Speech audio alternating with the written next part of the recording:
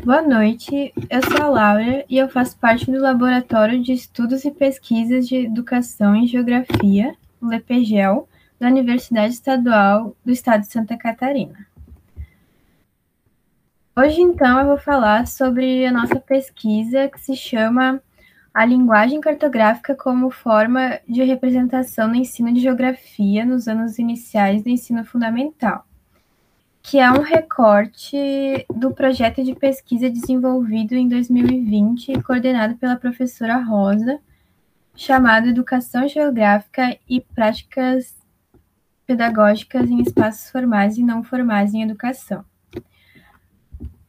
Uh, o qual o qual surgiu com o objetivo de compreender a importância da alfabetização cartográfica nos anos iniciais. Tá. Uh,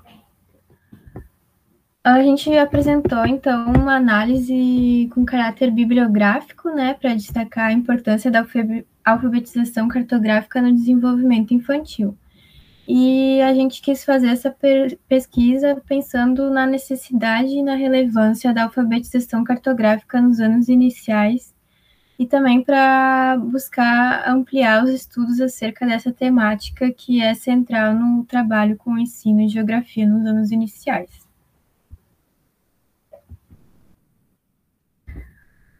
Uh, os mapas e a linguagem cartográfica, eles possibilitam que a gente possa fazer a leitura de diferentes espaços com informações que nos auxiliam auxiliam a compreender a representação e a localização de diferentes lugares. Então, é fundamental para os anos iniciais que as crianças sejam alfabetizadas cartograficamente, com propostas pedagógicas que oportunizem esse contato com a linguagem cartográfica para que elas possam compreender e fazer a leitura dos mapas desde o início da escolarização.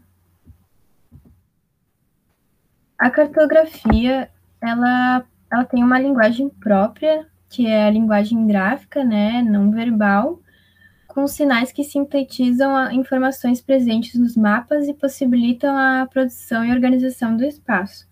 Então, assim, a linguagem cartográfica auxilia na compreensão dos diferentes espaços geográficos do mundo e as representações dos diferentes fenômenos estudados pela geografia.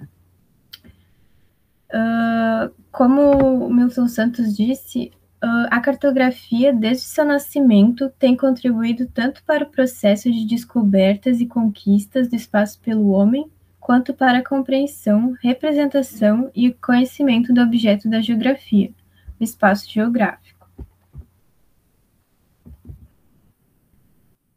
Então, para essa alfabetização cartográfica acontecer né, de forma significativa, Novak diz que o processo de ensino e aprendizagem deve ser direcionado de acordo com o desenvolvimento cognitivo da criança. Que dessa forma, a gente entende que buscando diferentes metodologias para a construção da percepção e representação do espaço, estamos contribuindo para a aprendizagem geográfica nos primeiros anos do ensino fundamental.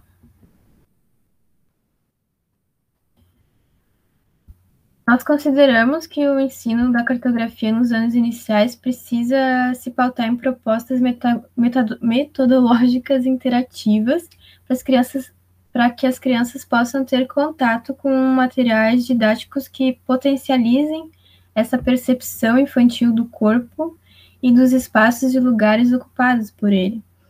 Porque conhecendo o, o, o corpo o, e o lugar onde vive, uh, vai facilitar esse entendimento da criança da espacialização. E nesse sentido, a alfabetização cartográfica pode ser trabalhada a partir de desenhos ou mapas mentais espontâneos, que representem a noção de mundo e a percepção espacial da criança.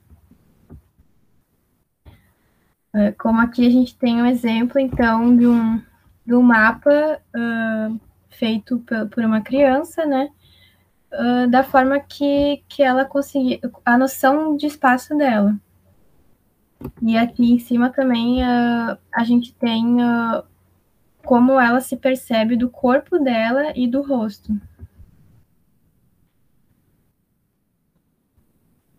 Então, por fim, a gente acredita que o ensino e a aprendizagem da linguagem cartográfica possibilita a compreensão da espacialização dos diferentes lugares e a leitura dos elementos que compõem as representação, representações das maquetes, das plantas, mapas, imagens de satélite, figuras e tabelas que ela vai ver ao longo da escolarização. Para finalizar, uh, deixo aqui uma fala do Castro Giovanni, que diz assim: Não é possível aprendermos sobre espaços somente com figuras penduradas em sala de aula e com livros didáticos que apresentam conotações de locais específicos. A análise da realidade social através da escola só é possível quando respeitamos o imaginário, a fantasia, a identidade, a origem, as particularidades e inclusive as subjetividades de quem aprende. Então é isso.